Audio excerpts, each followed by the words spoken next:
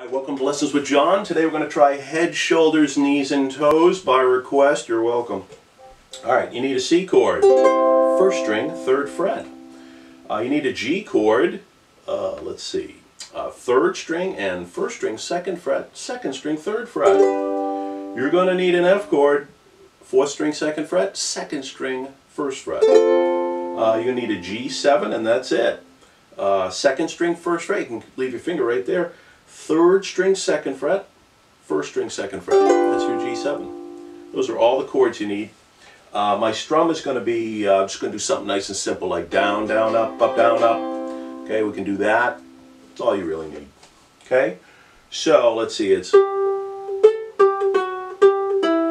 da, da, da. So da la la la la la. So C da dee da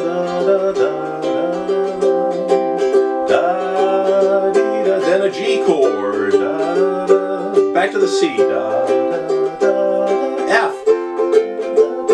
G7. And shoulder. And then back to a C. So, what you got? You got C for six measures or six patterns. You know, da da da da da da. And then two more patterns. Then a G for two patterns. The C for two patterns. Then the F for two patterns. G7 for two. And then you got C at the end for two. So when you start all over again for a new verse, you got to do six of the C, even though you just did two of them.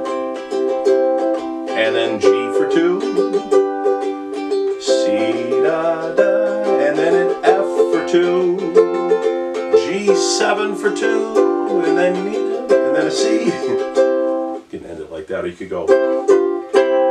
That was C G7 C.